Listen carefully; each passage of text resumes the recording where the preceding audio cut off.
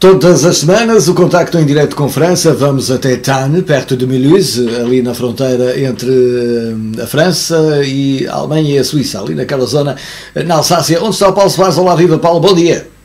Bom dia, amigo. Bom dia a toda a gente que nos estejam a ver por este mundo fora.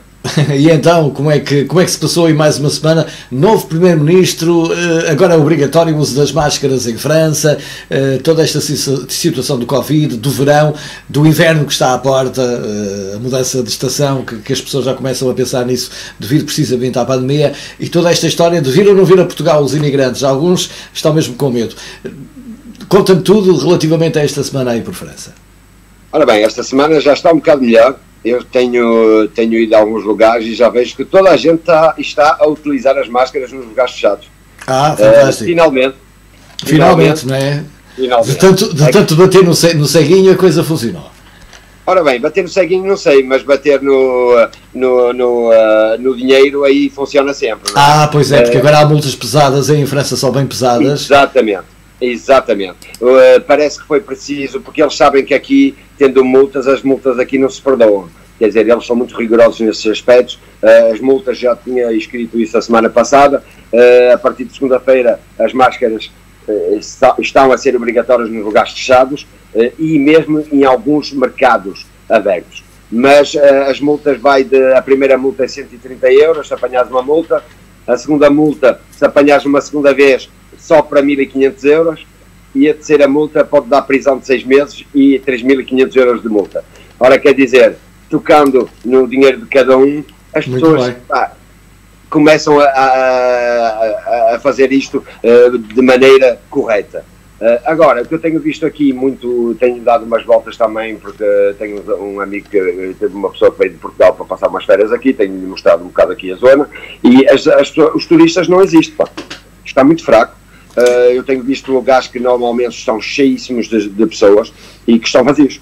Uh, estão vazios, uh, não tem quase ninguém, anda-se muito à vontade. Quer dizer, o, este, este Covid está a dar cabo muito. Está a dar cabo do turismo, da economia do país, isso Exatamente. é verdade. Tanto aí em França como aqui também em Portugal. não se vê os turistas que se viam há, há um ano atrás mas é reflexo exatamente deste Estado uh, e, e, há países a cortar eh, Portugal de, das listas, e não tem isso acontecer com a Irlanda, a cortar Portugal e outros países e, e, e, as pessoas acabam por não, por não sair de, de, de férias porque depois ao retornar de Portugal, digamos assim, ao regressar, têm de fazer a tal quarentena muitas vezes. É isso que é complicado. Exatamente, e o problema até eles, o Primeiro-Ministro falou ontem que vai começar a ser mais duro com alguns países, porque a gente, eh, a França está aberto quase a todos os países sem quarentena e muitos países não, não autorizam. E vocês têm problemas eh, muito, muito grandes com, com, com, a fronteira com a Espanha, ali junto à Catalunha, que está outra vez eh, a crescer uh, o número de casos na Catalunha, apesar de estar tudo confinado, mas uh, é sempre um perigo acrescido, não é? Claro, exatamente. E, e tens de saber também que não é só na Catalunha que está que isto está a dar, porque temos aqui em França, pá, os, os, os números sobem, e ainda hoje eh, fui ver os números, estamos com 600 novos casos, quer dizer, eh, isto está mais ou menos no, no, no, nos números que estavam quando a gente estava em quarentena, não é? Quer dizer, os mortos não é, eh, os, os mortos, os óbitos não são tantos, mas uh, uh, uh, os números estão a subir. Quer dizer, isto... A questão dos números muitas vezes também deixa-me muitas dúvidas, porque nós aqui em Portugal andamos, andamos há, há vários dias com uh, 250, 300, 400, 500, 250, 300, 400, 300, 250 e de repente dois dias seguidos com 100. Uh, uh, pronto, é aquela coisa, a gente acredita ou não, não é? Pois, mas eu, eu, eu, eu, a pergunta que eu me faço às vezes é se, se uh, o corpo humano não se habituou um bocado a este vírus. Quer dizer, que tu apanhas o vírus, uh, tudo bem, mas eu acho que eu tenho a impressão que o corpo humano está a gerir uh, este vírus de outra maneira e que se calhar não, não está a ser tão grave como as primeiras vagas que aconteceram, estás a perceber? Bem, mas, mas, mas, continua, médico, é? continua, a ser grave, o facto é esse. Claro. E as pessoas têm que pensar nisso. Agora, quando eu falo dos números, o que não é perceptível, eu lembro que há dois ou três dias dizia casos no Norte, mais 10 E só Vila do Conde tinha 34 e a Póvoa 12. Quer dizer, como é que o Norte tinha mais 10 e a Póvoa juntos, os dois tinham, tinham 50, vamos supor. Pois, é, eu, não dá para perceber, que... quer dizer, há, há ali uma incongruência de, de números, de, de, de publicações, seja lá do que for. Completamente. Eu acho que eles até, uh, quando começámos a sair da quarentena, eu acho que eles mudaram a maneira de contar os casos. Agora, não sei explicar como, mas eu sei que ele parece, eu ouvi falar que eles mudaram as maneiras de contar os casos. E se calhar isso ajuda. Uh... Isso ajuda que nem eles sabem como é que há de contar os casos. Olha, desculpa, mas é, é mesmo por aí. É mesmo por aí. A confusão é total. Uh, e, desde o por alguma razão é que a Direção-Geral de Saúde fa, uh, as locais, e eu falo das locais, não revelam os números. Qual seria o problema de, de, de, da Direção-Geral de Saúde da Póvoa de Varzim dizer hoje tivemos um, ou dois, ou três, ou zero, ou dez, ou vinte porque é que escondem? Eh, e quando eu digo, eh, e depois em Esposendo, já, se calhar já não escondem, eh, vai-se para, vai para, para, para, para Vila do Conde, já escondem, vai-se não sei para onde, também esconde. Porquê é que se esconde? Quando o Presidente da República veio dizer que não, não escondemos nada. E, de repente é isso que acontece, quer dizer, são, são eu próprio, como, como já, já liguei para lá, logo no início, e, e identifiquei-me como, como órgão de comunicação social, Norte Litoral TV, e não, não, não, desculpe, não damos essa informação informação. Não damos. Então dão, então a quem? Uh, então não, não é bom as pessoas saberem, epá, aqui existem casos, vamos ter cuidado. É uma forma de, de, de, de, de passar a informação para as pessoas, de, alertar as pessoas, não é? Esconder é que não, esconder é que não é a solução, digo eu, eu sou um leigo na matéria, mas eh, não, acho que é um bocadinho por aí.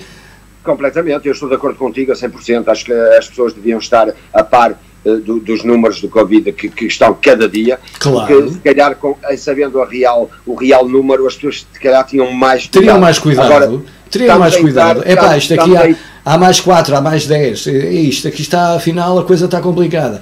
Agora, pois, esconder, as pessoas, têm, as pessoas ficam com a percepção de que é tudo lá para, para Lisboa, mas não sei para onde, e aqui não há. É essa a percepção. Porquê? Porque escondem os números. É a minha opinião já estamos a entrar em, em discussões de política, não é? Porque isso aí é já entra na política. E não vale a pena, não vale a pena. Já não é uma questão de saúde, mas é mais uma questão de política. Olha, eu acho é que neste caso a saúde se deveria sobrepor à, à tal política, como tu dizes.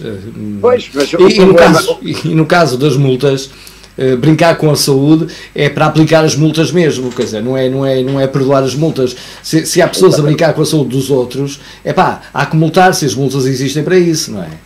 Exatamente. Quer dizer, por isso, nesses aspectos, a França é muito forte nesses aspectos e podes ter a certeza que aqui, quando levas multa, pá, pagas a multa, acredita que pagas.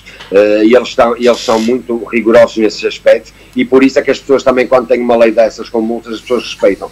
Porque as pessoas sabem que se não respeitarem, pá, vão levar multa. Não, não, há, não, há, não há escolha, pá, isto não, não perdoa nada. Agora, estamos a entrar em, em discussões de política, pá, é, é, a mesma coisa que, que acontece com, com as religiões, é a mesma coisa que acontece com a saúde. É a Olha, é a mesma coisa que acontece com o futebol. Porque é que alguns Exatamente. clubes de repente deixam de ganhar. É a política. chegar a isso.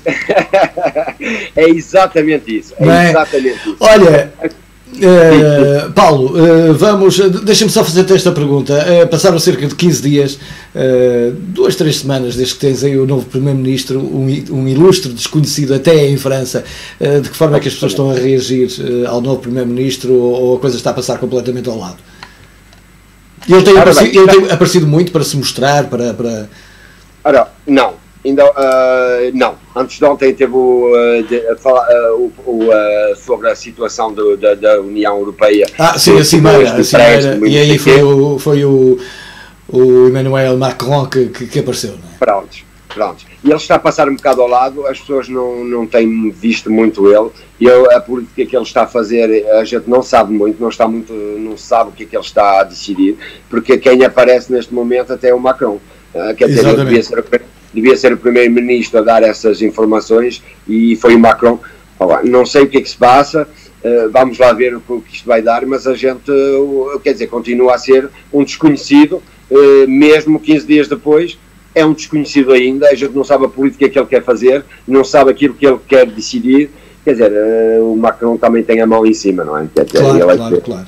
E nestas, e é questões, é e nestas questões europeias o Macron já tem mais experiência e tem que ser ele efetivamente eh, a aparecer junto Exatamente. da Angela Merkel e do nosso António Costa também para, para dizer como é que as coisas estão. Pois, e a política, a política em França é diferente. Quem, comanda, quem manda aqui é o, é o, é o Presidente, não é, é o Presidente. Aí, aí, aí, aí é, um, é um sistema presidencial. Olha, Exatamente. Paulo, uh, entretanto, uh, enquanto decides se vês ou não vês a Portugal, deixa a tua mensagem para os teus queridos amigos, toda a tua família.